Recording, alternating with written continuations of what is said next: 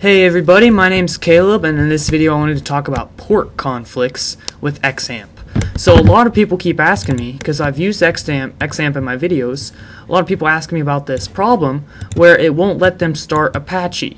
And it will say something such as starting Apache and then it will be like busy dot dot dot and nothing happens.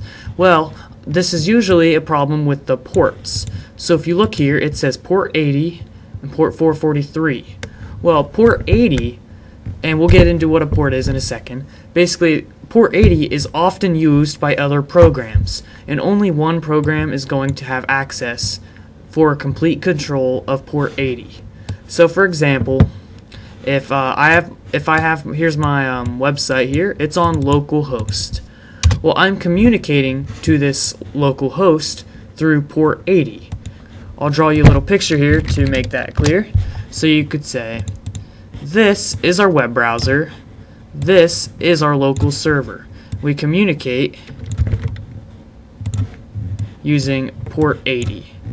So we could say Google Chrome, for example. And then we have port 80. And then we have XAMPP.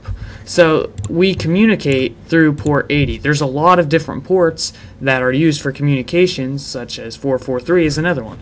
Well, for web servers, 80 is the main port. Well, to test things on our system, occasionally we'll need to change this port to allow us to run multiple things on at the same time where they would normally conflict.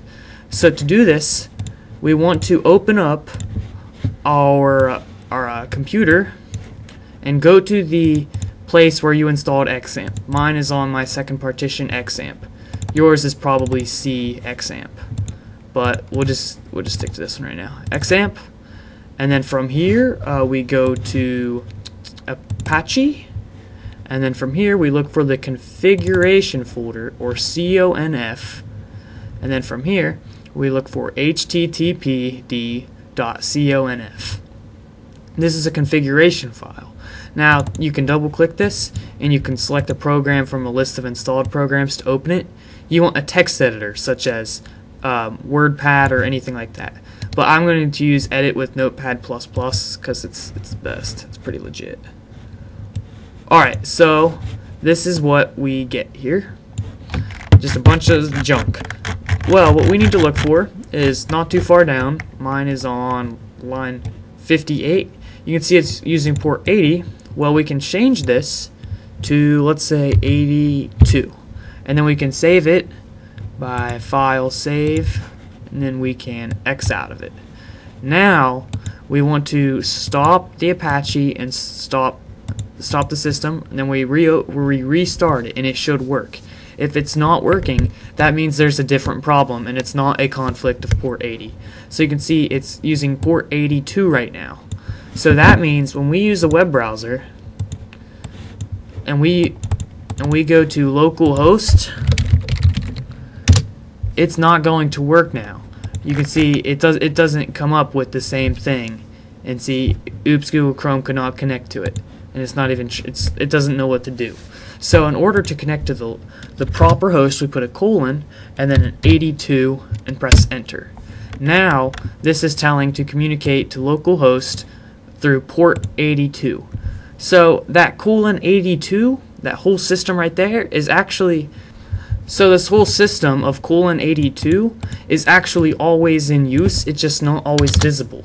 For example, normally we just type localhost and we're actually we actually have localhost localhost 80, but that's hidden. So we can we can use other websites such as Google, google.com and communicate it to it via port 80 and then it just is hidden.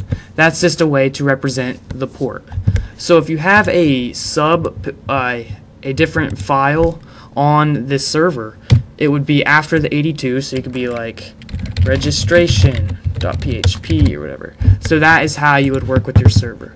Alright, well that's all for this video. Be sure to subscribe, and yeah, that's all. Oh yeah!